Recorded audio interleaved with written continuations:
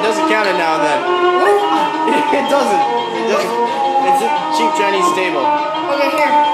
Play it again. No, no, no. I want the point. I want the point.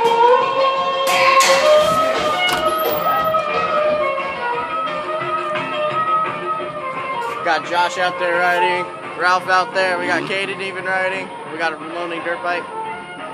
Caden's gonna jump it, there he goes, oh, nope, nope, just rides on top of it. How about Josh? Here comes Josh, Josh is riding, Josh and Ralph are racing, nope, nope, there goes Ralph, he's right behind him. Here comes Caden through the alleyway.